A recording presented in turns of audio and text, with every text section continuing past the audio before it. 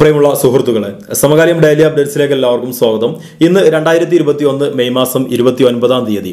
ഇന്ന് നിങ്ങൾ അറിഞ്ഞിരിക്കേണ്ട വളരെ സുപ്രധാനമായ സംസ്ഥാന സർക്കാരിന്റെ ഏറ്റവും പുതിയ കോവിഡ് നിയന്ത്രണം ലോക്ക്ഡൌൺ നീട്ടാൻ തീരുമാനിച്ചതിന്റെ കൂടെ തന്നെ ഇളവുകൾ വരുത്തിയിരിക്കുന്ന മേഖലകൾ ഏതൊക്കെയാണ്? ബാങ്ക് അക്കൗണ്ടുള്ള ആളുകൾ അറിഞ്ഞിരിക്കേണ്ട കാര്യം കേരള സ്റ്റേറ്റ് ഇലക്ട്രിസിറ്റി ബോർഡിൽ നിന്ന് ലഭിച്ച വളരെ സുപ്രധാനമായ വിവരം ഉൾപ്പെടെ വിദ്യാർത്ഥികളും രക്ഷിതാക്കളും പൊതുജനങ്ങളും അറിഞ്ഞിരിക്കേണ്ട കാര്യമാണ് ഇന്നത്തെ വീഡിയോയിൽ ഉൾപ്പെടുത്തിയിട്ടുള്ളത്. വീഡിയോയിലേക്ക് പോകുന്നതിന് മുമ്പായി എല്ലാവരും വീഡിയോ ഒന്ന് ലൈക്ക് ചെയ്യാൻ മറക്കരുത്. കൂടുതൽ ആളുകളിൽ വീഡിയോ എത്താൻ വേണ്ടിയിട്ടാണ് ലൈക്ക് ചെയ്യാൻ വേണ്ടി പറയുന്നത്. അപ്പോൾ ഇന്ന് നമ്മുടെ സംസ്ഥാനത്തെ കോവിഡ് സാഹചര്യം പരിശോധിക്കുമ്പോൾ ഇരുപത്തി മൂവായിരത്തി അഞ്ഞൂറ്റി പതിമൂന്ന് പേർക്കാണ് ഇന്ന് രോഗം സ്ഥിരീകരിച്ചത്. പതിനാറ് ശതമാനമാണ് ടെസ്റ്റ് പോസിറ്റിവിറ്റി നിരക്ക്. നൂറ്റി തൊണ്ണൂറ്റിയെട്ട് ആളുകളാണ് കോവിഡ് രോഗം കാരണം ഇന്ന് മരണപ്പെട്ടിരിക്കുന്നത്. രണ്ടാമതായി നമ്മൾ സംസാരിക്കുന്നത് കേരള സ്റ്റേറ്റ് ഇലക്ട്രിസിറ്റി ബോർഡിൽ നിന്ന് അതായത് കെ സി ബിയിൽ നിന്ന് ലഭിച്ച വളരെ സുപ്രധാനമായ ഒരു വിവരമാണ്. ഇനി നിങ്ങളുടെ വീട്ടിലുള്ള അതല്ലെങ്കിൽ വാണിജ്യ സ്ഥാപനത്തിലുള്ള ഏത് മേഖലയിലുള്ള വൈദ്യുതി ബില്ലും ആയിരം രൂപയുടെ മുകളിൽ എത്തുകയാണ് എങ്കിൽ അത് നിങ്ങൾക്ക് ഒരിക്കലും ഇനി ഓഫീസിലെത്തി അടക്കാൻ സാധിക്കില്ല. പകരം നിങ്ങൾക്ക് ഇത് ഓൺലൈനിലൂടെ മാത്രമേ അടക്കാൻ സാധിക്കുകയുള്ളൂ എന്നാണ് ഇപ്പോൾ കെ പറയുന്നത്.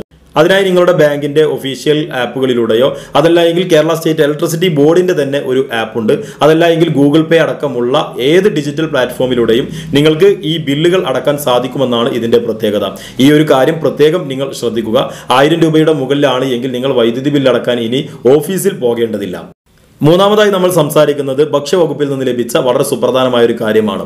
അതായത് റേഷൻ കാർഡ് ഉടമകളാണ് ഇക്കാര്യം അറിഞ്ഞിരിക്കേണ്ടത്. ഇതിൽ ഒന്നാമത്തെ കാര്യം ഏപ്രിൽ മാസത്തിലെ കിറ്റ് നിങ്ങൾ വാങ്ങിയിട്ടില്ല എങ്കിൽ അഞ്ച് ആറ് രണ്ടായിരത്തി ഇരുപത്തി ഒന്ന് അതായത് ജൂൺ മാസം അഞ്ചാം തീയതി വരെ നിങ്ങൾക്ക് റേഷൻ കടകളിലെത്തി ഈ സാധനങ്ങൾ വാങ്ങാൻ സാധിക്കുന്നതാണ്.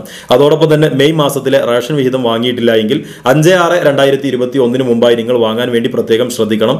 പിന്നീട് ഈ രണ്ട് കാര്യങ്ങളും നിങ്ങൾക്ക് ലഭ്യമാവുകയില്ല. അതോടൊപ്പം തന്നെ രണ്ടാമത് നിങ്ങൾ അറിഞ്ഞിരിക്കേണ്ടത് മെയ് മാസത്തിലെ സൗജന്യ ഭക്ഷ്യ കിറ്റ് വിതരണം അഞ്ച് ആറ് രണ്ടായിരത്തി ഇരുപത്തി ഒന്നിന് ശേഷവും നിങ്ങൾക്ക് റേഷൻ കടയിൽ നിന്ന് ലഭ്യമാകുമെന്നാണ് അറിയാൻ സാധിച്ചിരിക്കുന്നത്.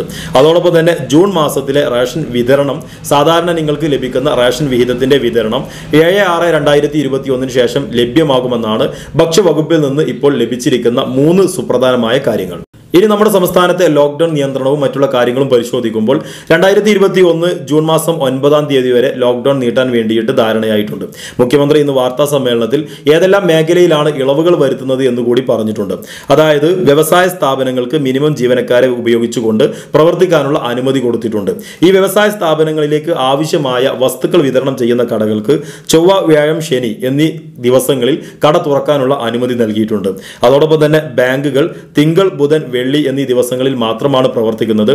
എന്നാൽ അതിൽ വന്നിരിക്കുന്ന ഇളവെന്ന് പറയുന്നത് നിലവിൽ ഈ ഒരു ബാങ്ക് പ്രവർത്തനം ഉച്ചയ്ക്ക് രണ്ട് മണിവരെയാണ് എങ്കിൽ ഇപ്പോൾ അത് വൈകുന്നേരം അഞ്ച് മണിവരെ ഈ ദിവസങ്ങളിൽ പ്രവർത്തിക്കാനുള്ള അനുമതിയാണ് ലഭിച്ചിരിക്കുന്നത്. അതോടൊപ്പം തന്നെ പുസ്തകങ്ങൾ പാദരക്ഷകൾ ടെക്സ്റ്റൈൽസുകൾ ജ്വല്ലറികൾ അങ്ങനെയുള്ള കാര്യങ്ങൾക്ക് അങ്ങനെയുള്ള കടകൾക്ക് തിങ്കൾ ബുധൻ വെള്ളി ദിവസങ്ങളിൽ വൈകുന്നേരം അഞ്ച് മണിവരെ പ്രവർത്തിക്കാനുള്ള അനുമതി നൽകിയിട്ടുണ്ട്. ബാക്കിയുള്ള എല്ലാ നിയന്ത്രണങ്ങളും നിലനിൽക്കും. അത്യാവശ്യ കാര്യങ്ങൾക്ക് മാത്രമാണ് ആളുകൾക്ക് പുറത്തിറങ്ങാൻ അനുവാദമുള്ളൂ അതോടൊപ്പം തന്നെ അവശ്യ സർവീസുകളിൽ പെട്ട കടകളൊക്കെ തുറന്നു പ്രവർത്തിക്കും. ഇനി ഏറ്റവും അവസാനമായിക്കൊണ്ട് കേരളത്തിൽ സിൻഡിക്കേറ്റ് ബാങ്ക് അക്കൗണ്ടുള്ള ആളുകൾ അറിഞ്ഞിരിക്കേണ്ട ഒരു കാര്യമാണ്. രണ്ടായിരത്തി പത്തൊൻപതിലാണ് പത്ത് പൊതുമേഖലാ ബാങ്കുകൾ തമ്മിൽ ലയിപ്പിച്ച് നാല് ബാങ്കുകളാക്കി ചുരുക്കാൻ വേണ്ടിയിട്ട് തീരുമാനിച്ചത്. ഇതിന്റെ ഭാഗമായിക്കൊണ്ട് സിൻഡിക്കേറ്റ് ബാങ്ക് കനറ ബാങ്കിലാണ് ലയിപ്പിച്ചിരുന്നത്. അതുകൊണ്ട് തന്നെ ജൂലൈ ഒന്നാം തീയതിക്ക് മുമ്പായി സിൻഡിക്കേറ്റ് ബാങ്കിന്റെ ഐ കോഡുകൾ മാറാൻ പോവുകയാണ് എന്നാണ് ബാങ്ക് അധികാരികൾ പറഞ്ഞിരിക്കുന്നത്. അതുകൊണ്ട് തന്നെ സിൻഡിക്കേറ്റ് ബാങ്ക് അക്കൗണ്ടിൽ ഇപ്പോഴും ഇടപാടുകൾ നടത്തുന്ന ആളുകൾ ശ്രദ്ധിക്കേണ്ട ഒരു കാര്യം. ജൂൺ മാസം മുപ്പതിന് മുമ്പായിക്കൊണ്ട് നിങ്ങളുടെ പുതിയ ഐ എഫ് എസ് സി കോഡുകൾ ഏതാണ് എന്ന് കൃത്യമായി മനസ്സിലാക്കണം. വരും ദിവസങ്ങളിൽ നിങ്ങൾക്കത് മെസ്സേജ് രൂപത്തിലോ മറ്റുള്ള ഇനങ്ങളിലൂടെയൊക്കെ നിങ്ങൾക്ക് ഇത് ലഭ്യമായി തുടങ്ങും.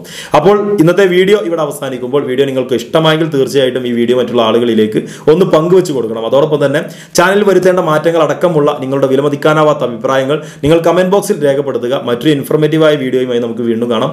വീഡിയോ പൂർണമായി കണ്ടതിന് എല്ലാവർക്കും നന്ദി.